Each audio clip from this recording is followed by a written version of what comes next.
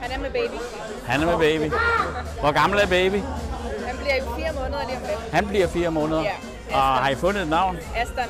Aston. Aston Olsen. Aston Olsen, sådan der. Jeg prøvede, jeg prøvede at trumfe det over til Egon Olsen, altså med A. Ja. Men det vil mand ikke have. Øh, hvordan fandt I på Aston? Er der nogen i familien, der hedder det? Eller? Nej, men han har fået mellemnavnet efter hans oldefar Eivind. Alright. Så han hedder Aston Eivind. Ja. Så der er kommet lidt. Og hvad laver du her i dag, Irene? Jamen, jeg har faktisk været over, og Du jeg er har faktisk taget min lille søster med. Og Ja, jeg hvad hedder hun? Også, Min søster hedder Victoria. Jeg. Ja. Og jeg skal på scenen med Rune på et tidspunkt. Okay. Ja. Vi skal uddele ja. Ja. Ellers noget nyt og spændende i livet. Mange ting. Mange ting karrieremæssigt. Spændende ting, ja. Øh, Er der noget der vigtigt? kommer rigtig mange nye lanceringer af af egne produkter, Egne og, produkter. og gode øh, spændende projekter. Også øh, mere tv snart. TV, okay. Uh, prøv at fortælle lidt om det. Jamen, det er faktisk noget, jeg nok kommer til at lave med min søster.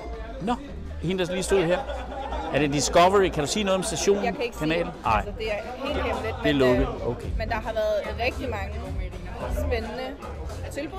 Okay. Og øh, jeg tænkte også, hvordan jeg lige får det til at hænge sammen. Nu er jeg blevet mor, ikke? Åh oh, ja. Ja, men, øh, men Så der det bliver ikke tid til barsel, eller hvad? Det her fungerer. Ja. Det her fungerer med min kalender. Okay, godt nok.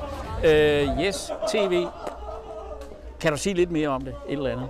Jeg må ikke. Uh, kan du sige, hvilken måned, at vi men kan det, forvente, men at det kommer er ud? jo længe siden, jeg har lavet Nå. øh, så stort et program, vil jeg sige. Okay. Ja, så det Og det er optaget?